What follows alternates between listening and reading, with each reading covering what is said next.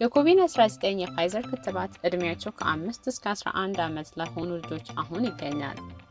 የበሽታ መቆጣጠሪያና መከላከያ ማዕከል ብቁ የሆኑ ልጆች ሁሉ እንዲከተቡ ይመክራል። ልጆችን በኮቪድ-19 ሊያዙ ይችላሉ። ስለዚህም ክትባቱ የልጆችን ጤንነት ለመጠበቅ እገዳ በማቅረብ ይረዳል። የኮቪድ-19 ክትባት ለልጆች አስተማማኝ፣ ነፃና ውጤታማ ነው።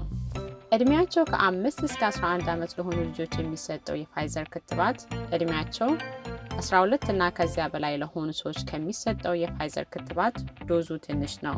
ትንሹ ዶዝ በተለየ ሁኔታ ይታሸጋል። ስለዚህም ይህን ክትባት ወዳላቸው የክትባት ጣቢያ መሄድ ያስፈልጎታል።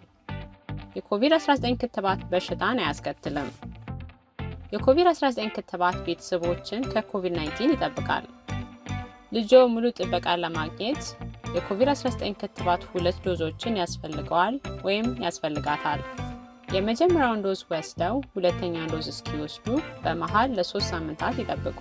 ሁለተኛውን ዶዝ ከወሰደ ወይም ከወሰደች ከሁለት ሳምንታት በኋላ ልጆ ሙሉ ጥበቃን ያገኛል ወይም ታገኛለች። ማንኛውም ጥያቄ ካለዎት የጤና እንክብካቤ አቅራቢን ያነጋግሩ። ጥያቄ ካለዎት የኤምዲኤች የነጻ ስልክ መስመርም በ1833 431 2053 ላይ ይገኛል።